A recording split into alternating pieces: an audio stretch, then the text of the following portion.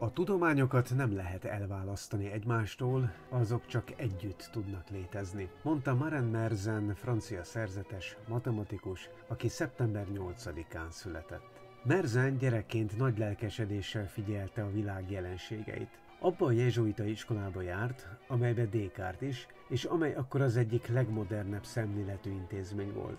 Merzen később a Sorbonon tanult teológiát, majd 22 évesen kezdett el komolyabban foglalkozni matematikával. Bár ismertek teológiai és filozófiai írásai is, hiszen ezeket tanította, sőt Arisztotelész nagy tisztelője volt, mégiscsak a matematika volt az, amelyben Merzen a leginkább elmélyült. Úgy gondolta, hogy minden tudományt a matematikára kell visszavezetni. Merzen szívesen foglalkozott kombinatorikai problémákkal, a szerzett ismereteit zenei kutatásaiban is felhasználta, azok pedig a fizikai, a húrok rezgésével kapcsolatos kísérleteiben kaptak szerepet. Merzen nevét leginkább a számelméletből ismerhetjük. A 2 a p minusz 1 alakú prímszámokat, ahol a p kitevő is prím, Merzen prímeknek nevezzük. Ilyen a 3, 7, 31, stb.